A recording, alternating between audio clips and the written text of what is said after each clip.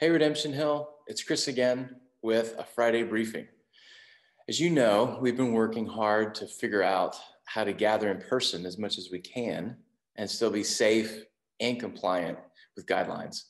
Um, this goes for RH communities, youth gatherings, Sunday mornings, um, but now RH Equip classes also have an in-person option.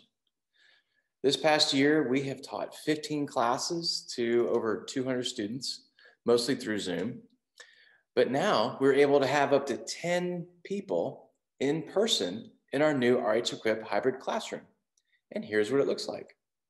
Here are the physically distanced tables, and you'll be able to see and interact with the in-person students sitting here, even if you join through Zoom.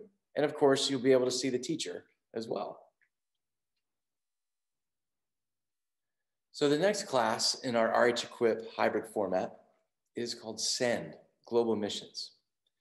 Have you ever wanted to know what the Bible says about the missionary task to take the gospel to every people group? Uh, want to know which countries have the greatest need for missionaries right now?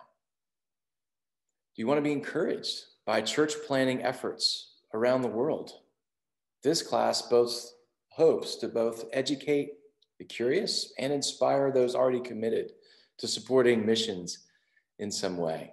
So, no matter where you hope to be making disciples, whether it's across the street or internationally, uh, you'll be equipped and encouraged by our global missions team and by learning more about what Redemption Hill is specifically doing overseas already.